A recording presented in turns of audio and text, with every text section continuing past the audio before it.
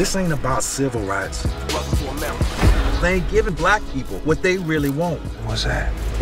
Hey, I was made in America. That's why I'm out here saving America. Power. Black power. To America. You know, uh, this film is what's happening, and there's so many people that are talking about it, including myself. So I'm going to start with a, uh, a basic question: How do you get ready for a role like this? I mean, Malcolm X. You know, uh, so much on about this guy. How did how did you prepare?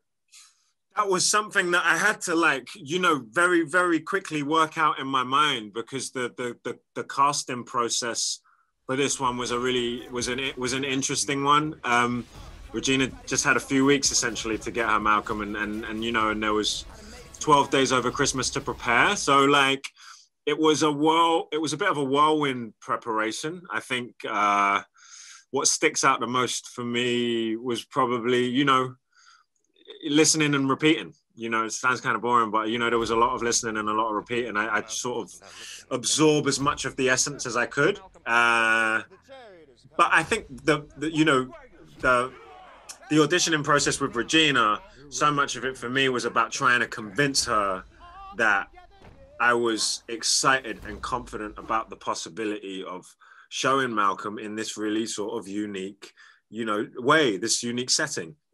As you learned about Malcolm X, what stood out to you the most about who he was?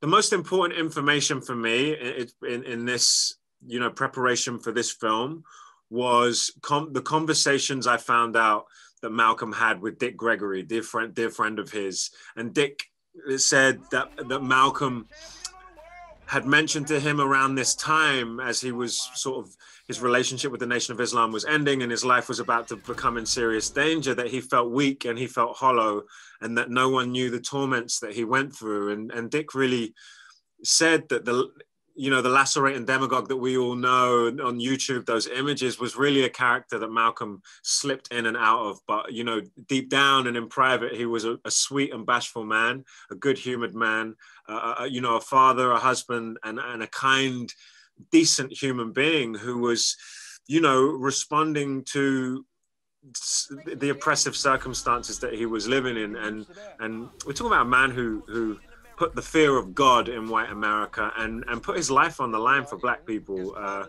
so you know, it was just a deep dive into the into the the the wicked and wonderful world of such a complex, rich, and beautiful human being.